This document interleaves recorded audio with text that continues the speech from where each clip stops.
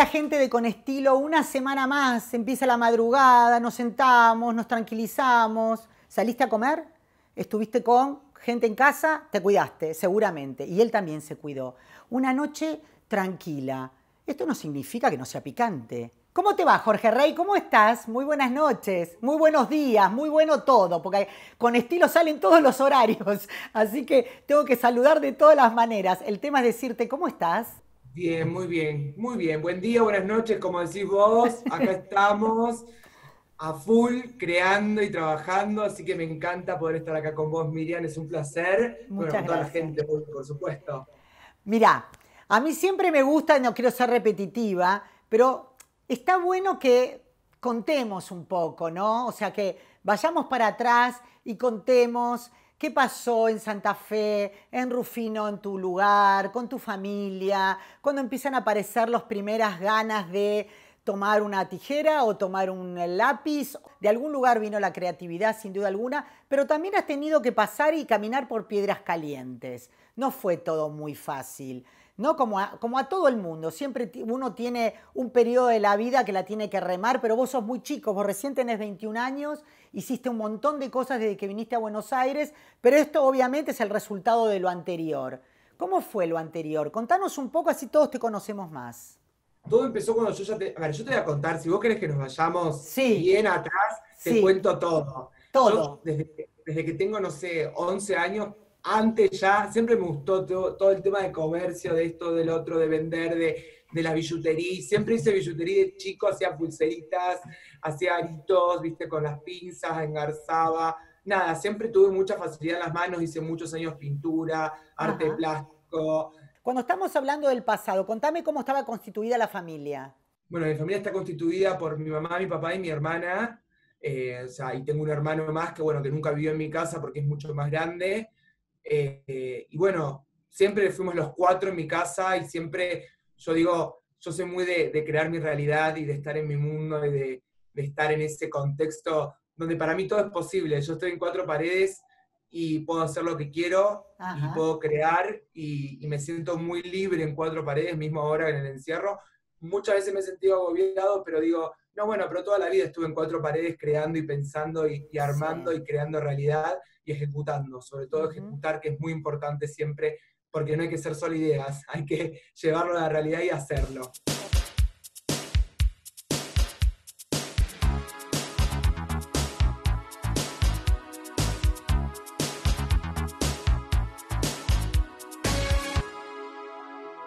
Mi infancia fue hermosa, divina, siempre me dejaron hacer todo lo que a mí me gustaba de arte. A ver, me dejaban hacer, pero como, como un tira y afloje, ¿viste? De hecho, te- cuando te digo hice arte plástica, hice pintura, porque desde chiquito ya a mí me gustaba y iba a pintar y, y aprendí mucho. No me dedico a eso, pinto ocasionalmente algo en casa a veces, pero sí me gusta mucho lo que es pintar y la textura, y siempre me llamó mucho la atención todo lo que es 3D, lo que tiene tridimensionalidad, el cuerpo, la figura. Pero contame en la escuela, o sea, vos cuando eras más chico, tenías, vo- vos tenías un chiquito que tenía más sobrepeso y la pasaste mal. A vos te pasó un bullying, vos tuviste, lo pasaste, ¿no es así o no? Obvio, mi amor, sí, un bullying tremendo, imagínate. Yo te quiero contar todo para que vos entiendas, si yo lo veo, yo so- me encanta la psicología, estuve a punto de estudiar psicología, entonces yo soy muy de, de empatizar y de, y de pensar en el otro y analizar todo, mismo con mis clientas, todo. Y yo digo, claro, imagínate, de 12 años, obeso, porque no es que estaba gordito, chicos, yo voy a ser sincero, estaba obeso, pesaba 130 kilos, y lo digo, Ah. nada, con un proceso de dieta, de, de, de nutricionista, de hacer ejercicio, un cambio de hábitos. Ahora, escuchame una cosa, Jorge, ¿la obesidad era, por un lado, genética o realmente era yo comía? Mamá me daba de comer, me comía todo y cuando mamá no me encontraba, me seguía comprando, no sé, chocolate, factura, lo que fuera. ¿Por qué esa- ese peso a una edad tan pequeña? La verdad es que no, nunca me lo puse a descifrar mucho Sí. y tampoco le pienso dedicar tiempo a descifrarlo hoy en día porque ya está, ya es Perfecto. pasado. Sí. Solamente sí me gusta aprender y poder comunicar realmente esto de, de poder cambiar la realidad de cada uno, de lo, que, Ujú, ujú. de lo que uno siente, de lo que uno le pasa. Y yo me acuerdo, o sea, llegué a pesar 130 kilos cuando tenía ya 14 años. Ok. Antes ya estaba con sobrepeso y siempre toda mi vida es genético, mis papás también tienen obesidad.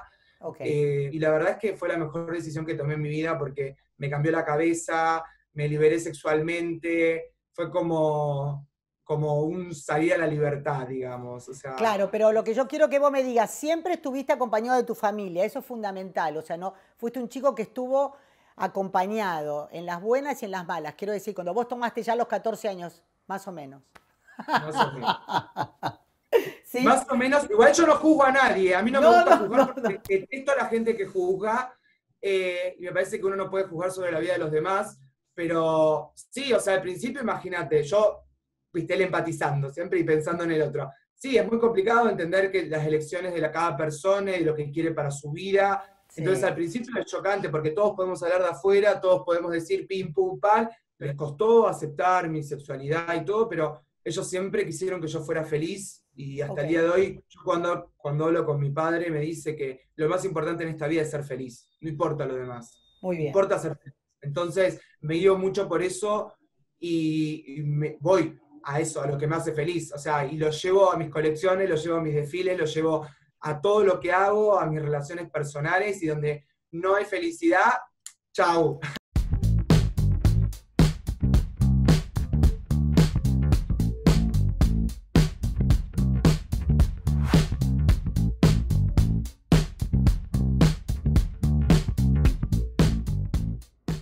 Los chicos a veces son, entre comillas, tiranos, pero sin darse cuenta. Entonces, una palabra de más, me imagino, viste que a la gente le salen las palabras así, a veces de los chicos, y quizá vos sos muy jovencito, estamos hablando de esta época, pero llega un momento que uno se pone una coraza y dice, no, acá llegó Gladiator, esto rebota. Seguimos en un minuto. Jorge Rey, un encanto, un diseñador, un diseñador de hoy. Mirá, aparte el color que tiene puesto esa polera, se la quiero robar así, ya volvemos. thank you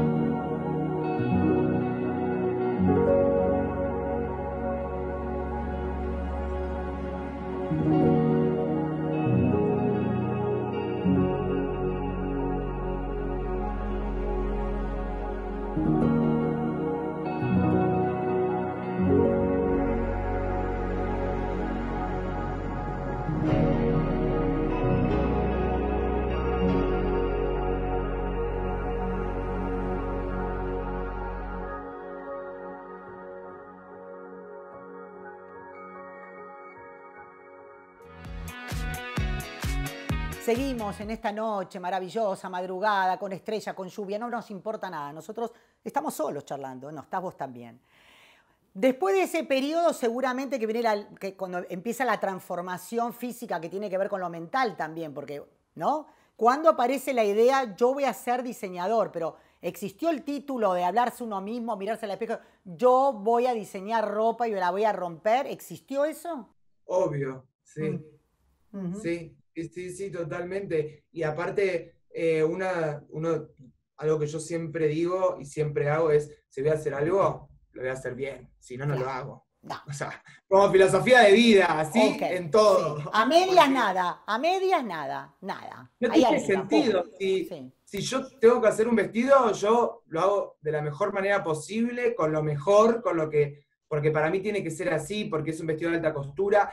Y la verdad es que yo hice organización de eventos, diseñé tarjetas también, pues yo tuve un accidente que estuve todo el verano con un yeso que, imagínate, dos meses de verano con el yeso que no sabía qué hacer. Y bueno, me puse a diseñar por la computadora, Ajá. aprendí por todo autodidacta usar programas tipo Corel Illustrator, Photoshop, los Todo. aprendí a usar todos. En esa cuarentena podríamos decir que tuve que hacer porque no me venía a ver nadie, estaban todos en la pileta, un calor tremendo.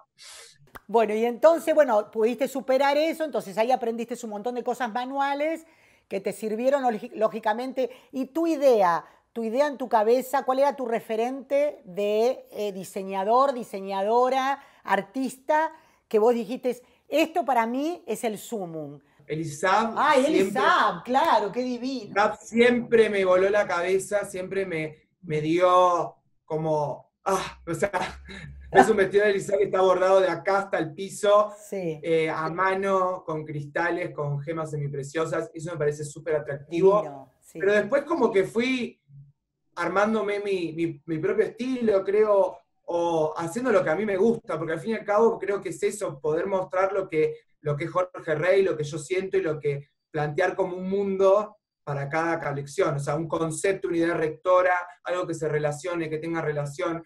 A mí siempre me gusta pensar todo como un todo, porque creo que así funciona, o sea, yo organizo un desfile y pienso en las invitaciones, en la puesta, en las luces, en las modelos, en la expresión de los modelos, en el maquillaje de las modelos.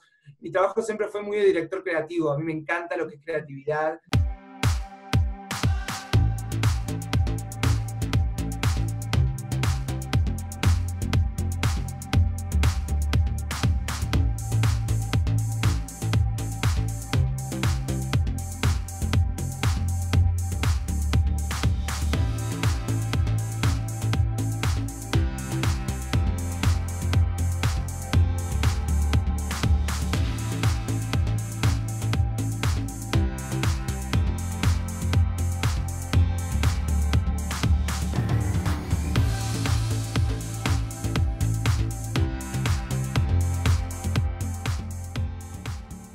Decime una cosa, y cuando viniste para Buenos Aires, la idea, ¿tuviste un mentor, conocías gente? O sea, ¿hubo, hubo un, recibimiento? ¿El medio fue más hostil?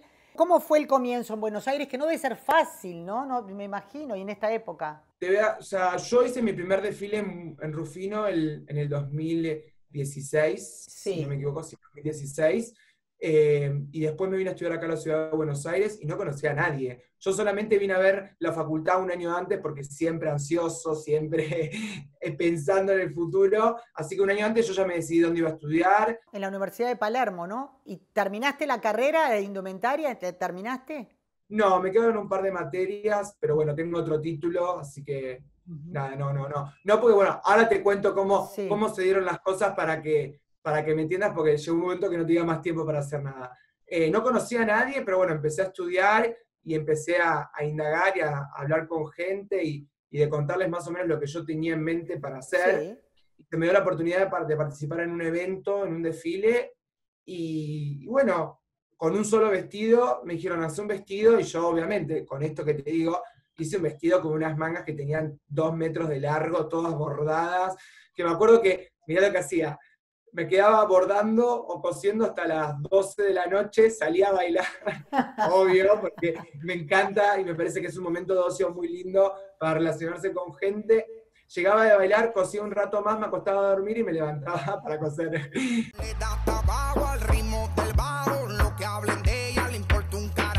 ¿Y en dónde lo pasaste? ¿Dónde pasaste ese vestido? Eso fue en un, evento en Patagonia Flooring que hicieron de, ah, de moda y arte Mm. súper lindo, eh, que estaba Sayachi, bueno, imagínate, yo estaba como, wow, mi primer acercamiento a la moda. Y después, bueno, sí, participé del Six O'Clock Tea también, que ahí ah. yo fue cuando decidí dejar de estudiar en la UP. Ahora, siempre ligado a la alta costura, o sea, ir ahí arriba, la haute couture o como le quieran llamar, que no tengo ni idea cómo se llama ahora, porque te lo cambian todo el tiempo. Hablemos de alta costura. Gran soirée, viste que fue cambiando con la, con, la vida, que es, lógico. Bueno, vestidos de noche, vestidos eh, elegantes, paquetes para eh, las señoras, las señoritas, las novias o lo que fuera. Siempre ahí arriba, siempre el bordado, siempre el tul, siempre ahí arriba. Eh, seguís igual, ¿no? O sea, o incorporaste otra gama de, costura. ¿Hay, ¿Hay algo más? Ahora en el último tiempo de la cuarentena lo que sí hice fue hacer una cápsula de Preta Ponté. Sí, Sacamos un par de blazers, unas blusas y nada más, pero te cuento que ahora se viene todo lo, lo Jorge Rey nuevo, que es brutal, que estoy trabajando a más no poder porque fue un capricho, de hecho una de, es una historia muy larga lo que se va a contar y son cinco cápsulas distintas en cada una hay una estética distinta y definida, eh, entonces es un, gran trabajo de producción y de puesta de arte.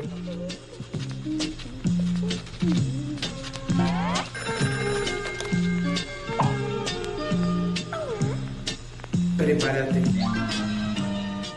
La verdad, estoy a mil, eh, al margen de la pandemia, estoy a mil creando, con las clientas también, con el Preta Ponté, porque bueno, hay que tirar el carro y hay que ir para adelante.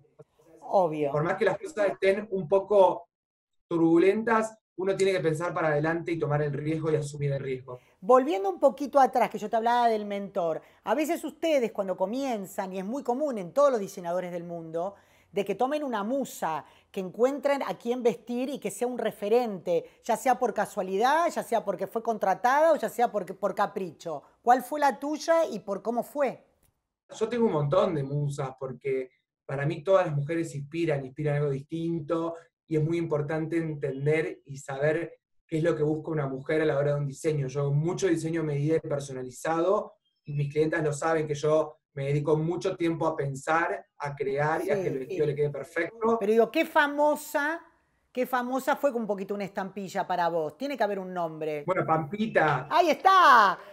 Le hice el vestido para los Martín Fierro de la moda que que fue bien grande, que era, la consigna era que sea bien grande y lo logré y fue, fue brutal, fue brutal. Es una gran percha y tiene un gran nombre para que los demás digan, a ver, ¿quién la vistió? Qué lindo, yo no me pondría eso, pero seguramente sí otra cosa. Porque creo que el, diseñador lo necesita y la gente también. O sea, desde que aparecieron las alfombras rojas a lo largo de la vida, era quién lo vistió, quién lo lució, ¿no? Ay, por favor, me vistió Trancu. Trancu, lista, sí. Recién, recién levantada. Un segundo, después seguimos charlando.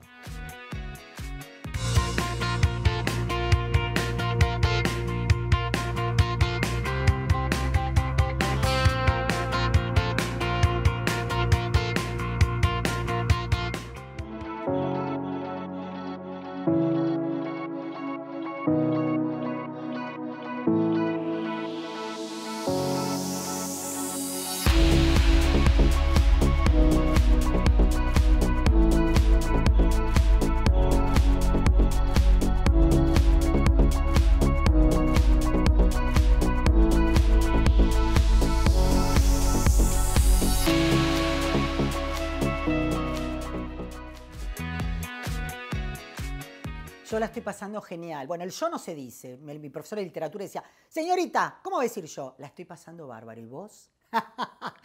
bueno, yo no sé, pero me parece que no hay un diseñador tan joven, profesional en este momento que no seas vos en la Argentina, ¿no? Creo que no. Y vos sabés que me gusta la palabra profesional, porque para mí el profesionalismo tiene que estar en todo ámbito de la vida. Sí, claro. No, a mí me parece que una vez que entraste en el mundo de serio, en el, serio en el sentido que todo es serio, pero una cosa son, como dijiste antes, las cuatro paredes, donde vos te peleas con vos mismo, donde vos cortás o no, donde hiciste es una porquería, lo tiro, pero esto me gusta más. Y otra cosa cuando uno sale al mundo. Ahora, Después empezó, obviamente, la pandemia, después empezó la nueva modalidad de cómo mostramos la moda sin frenar la moda, y seguramente va a haber una nueva moda post pandemia. O sea, no sé cuál es tu idea, pero ¿qué pensás del futuro? ¿No? Sí, mira, la pregunta me encanta y tengo tantos frentes abiertos y tantas ideas que no te podría decir ninguna, pero la que más en este momento creo posible por lo que estoy viendo con las clientas y por todas las consultas que estamos teniendo y por todos los pedidos de vestidos, es que la gente va a salir a festejar y va a decir, es hoy. O sea, creo que es hoy y qué más lindo que poder hacer una fiesta. Yo, de hecho, ya le dije a toda mi gente que el año que viene, para mi cumpleaños, sí, tirar la casa por la ventana porque quiero festejar que, que estoy vivo, que pasó esto. Cuando hayamos aprendido y esto haya pasado, desplegaremos nuestras alas. Si será un futuro, un futuro nuevo, una visión distinta, un futuro alado. Las novias que están pensando en casarse y que los casamientos, todo lo que no se hizo este año se hace el año que viene, más las que se decidieron casar en la cuarentena, que son muchas. Mm. Son bastante las personas que, como se separaron, hay mucha gente que decide, bueno, el año que viene nos casamos. Eso pasó un montón también. Y, y, yo creo que va a ser el momento para, para vestirse y para dar lo mejor de uno. Y yo creo que, no sé, reencontrarse con, parientes de, seis, de, casi seis meses que no lo ves, es como o, amigos o, con las abuelas, la familia, y uno va a querer estar bien vestido. Por otro lado, uno va a reflexionar en un montón de cosas, ¿no? El cuidado del planeta, el tema del reciclado. Seguramente uno va a pensar, ¿necesito otro par de zapatillas? ¿Seriamente? Que en vez de tener la tira doblada, la tiene cruzada. Quiero decir, va a haber una mezcla de cosas, ¿no? Y yo creo que ustedes, que son referentes, son comunicación. O sea, la gente los mira, a ver qué comunica, qué hace. Entonces, es muy importante. hay, que, hay que tener en cuenta que cada cosa que uno dice, muestra y hace es copiado, es escuchado, es mirado, ¿no, Jorge? Total, y esto que vos decís de comunicar para mí es muy importante y sobre todo vale hacer una aclaración de que todos comunicamos y estamos comunicando desde cualquier punto de nuestra vida, desde lo que decimos, lo que nos ponemos, lo que hacemos, dejamos de hacer. Y es muy importante tener en claro eso, que creo que también en el último tiempo se ha perdido un poco el tema de, mucha gente no se da cuenta que a lo mejor está comunicando y, y, vos ves las fallas de, a ver, diseñar, diseño es comunicación y, comunicación es diseño y yo, a mí me gusta mucho comunicar y tengo una, las propuestas comunicacionales siempre me gusta armarlas en base a qué quiero decir o qué quiero que digan o qué quiero que sienta la gente. Entonces, para mí es clave entender que estamos comunicando y que en este momento tenemos que comunicar de una manera cautelosa, viendo a ver qué está pasando, qué, siente la gente, qué le pasa a la gente. Hay como todo un dilema, viste, en las redes sociales también bastante interesante. Muy, que, sí.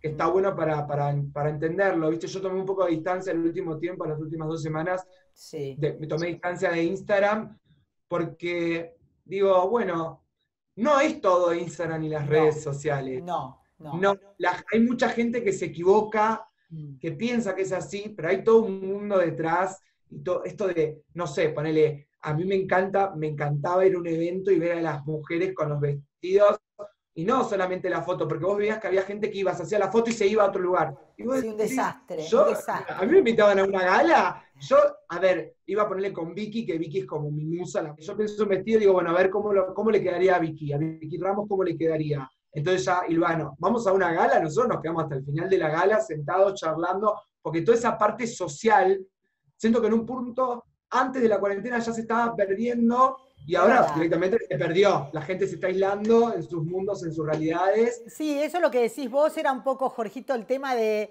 la, celebrity banner, ¿no? Sacarse la fotito e irse y cobrar por eso, y había una cosa despersonalizada, o sea, no, no, valorada, pero si te están invitando, es una ONG, es una asociación sin fines, de lucro, tu presencia va a hacer que se va a difundir mucho más la fiesta. Bueno, yo he cubierto con este programa tantas, tantas, tantas que he ido y yo no, no me gusta ni la fiesta ni nada, y no por mí, sino por la difusión que después le podíamos dar.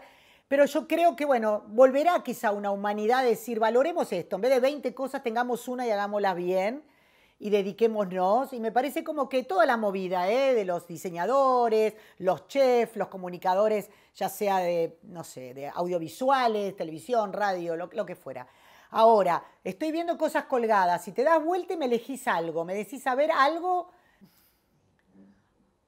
Ah, ¿qué es terciopelo? ¿Qué es eso? No.